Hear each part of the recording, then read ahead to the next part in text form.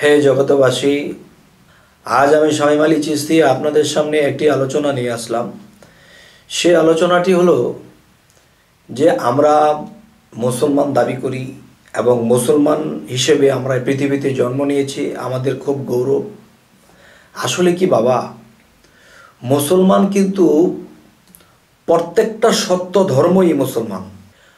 প্রত্যেকটা সত্য ধর্ম মুসলমান কীভাবে? একটা জিনিস লক্ষ্য করবেন। সেই কথাটি হলো যে, দেখা গেছে হজরত মুসা আলাহ সাল্লামের ধর্মের নাম কি? ইহুদি ধর্ম। সেই ধর্মের মুসা আলাহ সাল্লামের কাছে কিন্তু কালেমা পাঠ করেছে এবং আল্লাহর কাছে আত্মসমর্পণ করেছে। আর আত্মসমর্পণের আরেকটা নাম হলো মুসলমান। ঈসা আলাহ সাল্লামের ধর্ম কি? খ্রিস্টান। ঈসা আলাহ সাল্লামের কাছে যারা কালেমা পাঠ করেছে এবং যারা ঈসা নবীকে মানত, তার উপরে ইমান এনেছে, আল্লাহর উপর ইমান এনেছে, তখন ঈসা আলাহ সাল্লাম কিন্তু তাদেরকে কলমা পাঠ করাইছে এবং দেখা যায় যে তার ধর্মের নাম কি? খ্রিস্টান। তাহলে যদি আত্মসমর্পণ করে থাকে, তাহলে তারাও মুসলমান। দাউদ আলাহ সাল্লামের উম্মত যারা, তারাও মুসলমান। মোহাম্মদ সাল্লাহ সাল্লামের উম্মত যারা, তারাও মুসলমান। তাহলে মুসলমান শব্দের অর্থ কি? আত্মসমর্পণকারী। প্রত্যেকটা নবীর, প্রত্যেকটা উম্মতেরাই কিন্তু আত্মসমর্পণ করেছে। আত্মসমর্পণ শব্দের অর্থ যদি মুসলমান হয়ে থাকে, তাহলে আমরা যে মুসলমান, তারাও মুসলমান। গেল এটা। এবার শ্রীকৃষ্ণের এখানে আসি। শ্রীকৃষ্ণকে যারা মানছে রামকে যারা মানছে, গৌরাঙ্গ মহাপ্রভুকে যারা মানছে, তারা কিন্তু তাকে উদ্দেশ্য করে ঈশ্বরের কাছে আত্মসমর্পণ করেছে এবং কালেমা পাঠ করেছে। তাদের কালেমা আছে? আছে। আমরা বলতেছি, লা ইলাহা ইল্লাল্লাহ মোহাম্মদ রসুল্লাহ নাই কোনো মাবুদ আল্লাহ সারা হজরত মোহাম্মদ সাল্লাহ আলাইসাল্লাম আল্লাহর প্রেরিত বান্দা ও রাসুল। আরেকটি বিষয় হলো যে তাদের কালমাটা কি? তাদের কামলা। এক ঈশ্বর দ্বিতীয় নাস্তি, এক মেবাদি, দ্বিতীয়াং ওং বিষ্ণু নারায়ণাং। অর্থাৎ এক ঈশ্বর ছাড়া দ্বিতীয় কোনো ঈশ্বর নাই।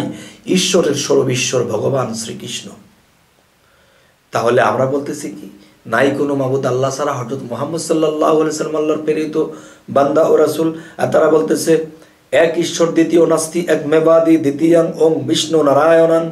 অর্থাৎ এক ঈশ্বর ছাড়া দ্বিতীয় কোনো ঈশ্বর নাই। ঈশ্বরের সর্বীশ্বর ভগবান শ্রীকৃষ্ণ।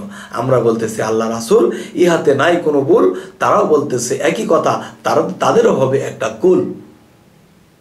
তবে হে জগতবাসী আপনাদের কাছে যে আলোচনাটি আজ নিয়ে এসেছি, একটু ব্যতিক্রম। যে আমরা কি বলতেছি? ফেরেস্তা ফেরেস্তা আল্লাহর ফেরেস্তা এটা করেছে, আল্লাহর ফেরেস্তা সেটা করেছে। আল্লাহর ফেরেস্তা এই সেই। আল্লাহর ফেরেস্তা আল্লাহর ডিউটি পালন করে। তাহলে হিন্দু ধর্মের মধ্যে তো ফেরেস্তা কথাটা উল্লেখ করে না। তবে ফেরেস্তা আর দেবতা কিন্তু এক জিনিস নয়। ফেরেস্তা ফেরেস্তাই দেবতা দেবতাই। তবে সত্তর হাজার ফেরেস্তার কথা বলা হয়েছে যে বিল্লালের দাড়ির মধ্যে সত্তর হাজার ফেরেস্তা খেলামেলা করতো, একটা দাড়ি ছিল তার। তাহলে সত্তর হাজার ফেরেস্তা তার দাড়ির মধ্যে ঝুলে থাকছে। এমনও হাদিস এসেছে। তাহলে একটা লোমের মধ্যে যদি সত্তর হাজার থাকে, তাহলে মানুষের শরীরে লোম কতগুলো? প্রত্যেকটা লোমের মধ্যে যদি এক পিস করে ফেরেস্তাও থাকে, তাহলে একটা মানুষের সমস্ত অঙ্গ প্রত্যঙ্গে ফেরেস্তায় জর্জরিত। আচ্ছা তাহলে দেবতা, তেত্রিশ কোটি দেবগণে বসে আছে যোগাসনে, সেটা কোথায়? এই মানব দেহের মধ্যে যেরকম ফেরেস্তা আছে, এরকম দেবতারাও আছে। যা আমরা দুই নজরে দেখি না। কিন্তু দেখা যায় যার চক্ষু আছে, সে দেখছে, কথাও বলছে। তবে হে জগতবাসী আজকের যে আলোচনাটি, যে এই যে দেবতার কথা বলা হলো, এই দেবতারা মুসলমান ধর্মে অন্য নামে আছে, যার ফলে মুসলমান নিজের ধর্মে থেকে সে অন্য ধর্মের দেব দেবতাদেরকে ঘৃণার চোখে দেখে। অথচ এই দেবতারা মুসলমান ধর্মের মধ্যে অন্য নামে আছে। যদি কেউ বলে, আমি তা জানতে চাই, দেখতে চাই, বুঝতে চাই, তাহলে আমি এটা ইউটিউবে বলা যাবে না। ইউটিউবে যদি বলি, তখন দেখা গেছে বিশৃঙ্খলা হতে পারে। তবে হ্যাঁ এই ফেরেস্তা হিন্দুদের মধ্যেও আছে। অন্য নামে। দেবতা আমাদের মধ্যে আছে অন্য নামে।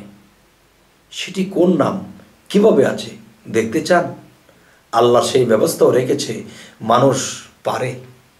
মানুষকে আল্লাহ সেই ক্ষমতা দিয়েছে। তবে সেই দেবতারা মানব দেহের ভিতরে কোন রূপে আছে, কীভাবে আছে? তাদের কি ডিউটি চলছে?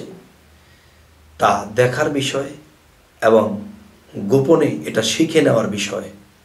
ইউটিউবে বলার বিষয় নয়, বিশৃঙ্খলা হতে পারে। যদি কারও ইচ্ছে থাকে দাওয়াত রইল, এই সম্পর্কে আলোচনা করব। তবে হে জগতবাসী আমাদের এই চ্যানেলের আলোচনা যদি আপনাদের ভালো লাগে, তো অবশ্যই সাবস্ক্রাইব করুন। পরবর্তীতে আলোচনাগুলো যেন আপনাদের কাছে পৌঁছে যায়। তো আজ এই বলেই রাখব। সকলেই ভালো থাকবেন। আল্লাহ হাফিজ।